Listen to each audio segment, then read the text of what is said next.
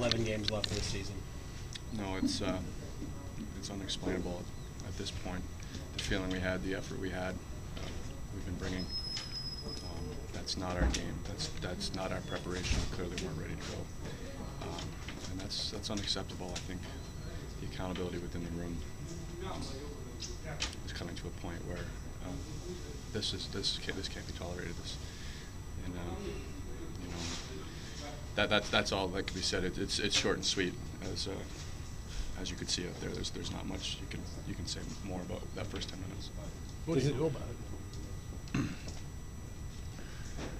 Well, I think. Uh, I mean, the problem is that you know we feel like we've been stressing like it's been a, it's been a tough part of our game that we've wanted to improve, and you know we focus on it. It's it's not like we, we, we haven't realized that our starts haven't been great, and uh, you know we would be having a lot more success if we played you know the first period the way we've been playing the second and third, um, which makes it more perplexing. Um, you know, obviously it's going to take some reflection within the room here to uh, come to a conclusion, and, and the effort and the, the preparation's got to be better. That's that's there's there's no excuse and there's no secret recipe. That's that's the bottom line. That's the only way. Does it take a tirade? I mean, throw a stick, uh, knock over a cooler? What?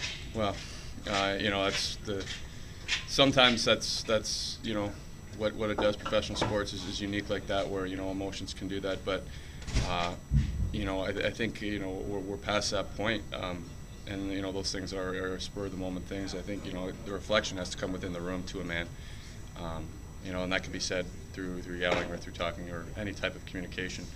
Um, but it, needs to be said, and we, we, we can't we can't do that. It's it's unacceptable and it's unprofessional.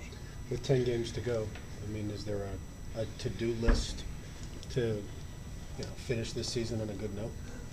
Well, yeah, there there is. I mean, we we've talked about this. We're, professional athletes, and we want to go out there and continue to play every game, like it's our last, like we're playing for our lives, which we are in this business. You're only as good as your last game, and uh, as a team, it's, it's the same.